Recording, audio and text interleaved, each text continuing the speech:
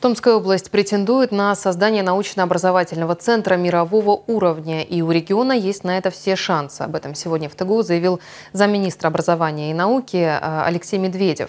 Там федеральные областные власти, а также ректоры вузов Сибири обсуждали вопрос создания в России 15 центров интеграции науки и промышленности. В рамках этого проекта предполагается обновление 50% оборудования учреждения, а также совместная работа над исследованиями ученых России и пяти ведущих стран мира. Алексей Смирнов продолжит тему.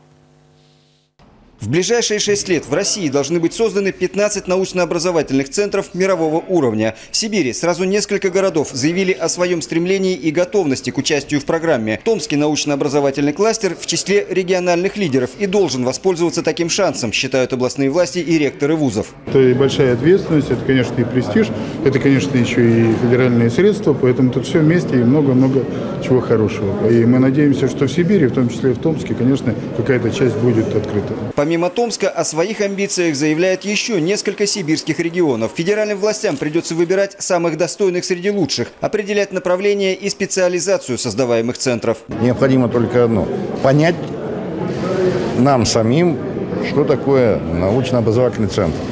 Второе – определить место и роль каждого наш, каждой нашей научной организации, образовательной организации. Другая задача – максимально быстро начать получать практические результаты от деятельности центров. Сибирь выделяется от других территорий нацеленностью науки на связь с реальным сектором экономики с учетом отраслевой спецификации. Ключевым словом является кооперация. Прежде всего, кооперация реального сектора э, с э, наукой и образованием. И этот задел в Сибири можно оценивать как один из самых высоких ну, в сопоставлении с иными регионами а, страны. О связи науки и производства на конкретном примере полпреду президента рассказали в компании «Газпром Трансгастомск», которая строит магистральный газопровод «Силы Сибири». Реализация федерального проекта была бы невозможной без использования научного потенциала. В условиях импортозамещения приходится создавать новые технологии, оборудование с учетом своих потребностей и специфики. Реализация проекта «Наука» рассчитана до 2024 года.